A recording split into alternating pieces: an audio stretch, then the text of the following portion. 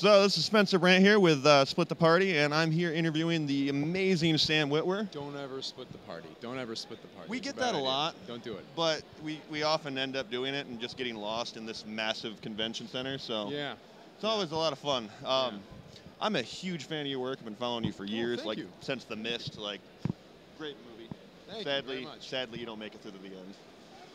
Well, we don't know that. We didn't see me die, did we? I mean, like, Fair I enough. very well could have survived that, and I think I did. I think it's pretty clear that I did. I would be really happy about Yeah, that. I mean, you could have been on the truck full of survivors. Absolutely. Yeah. Sequel.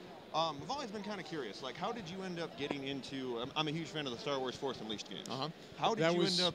That was an getting a part of audition. Yeah, just a, an audition, but a very extensive audition. One where they really like made me uh, act for like 45 minutes. It was really, really difficult, and and when when they make like regular auditions, you act for like five to 10 minutes at most. Yeah. But this was just over and over again doing the scenes in every way that we could possibly imagine, which either makes you feel like they really want me, but I'm not doing it right, Mhm. and I still can't get it right, or uh, I don't know. Maybe they, they're just trying to figure out what the character is. And I think it was the latter, actually. They were trying to figure out what the character could be Yeah. and what I could bring to it. And they, uh, yeah. And then I got the role, and then that led to the Son and the Clone Wars. The Son led to Darth Maul. Mm-hmm. Darth Maul led to Palpatine and Rebels. So which was fantastic. And like, I'm not caught up on Rebels yet, but I've been Rebels is. I haven't shown up in Rebels just yet. It's, it's airing in like 10 days with Darth Vader, James Earl Jones as Darth Vader. Ooh, and yeah. better. I really got to catch up on that. Yeah. Yeah. Um, man, what was the other question I wanted to ask? Oh, so obviously you're- you're a busy man, but what what holds what's in the future for you?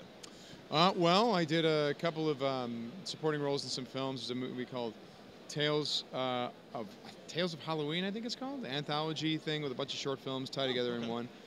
Did a I play a mad scientist in a movie called um, Officer Downe, which may come out next year, I think. Uh, I did some up. TV stuff, and I'm working on a video game that, that I can't talk about. And then there's also uh, uh, Palpatine for Rebels. Nice. Yeah. Okay, well I think that's about all we have time for because you've got a uh, big line of fans that have been waiting patiently for your autographs and your time. So, I want to thank you again. Any last words for us? Good to see you. Yeah, thanks for literally supporting me. thanks, man. Right on.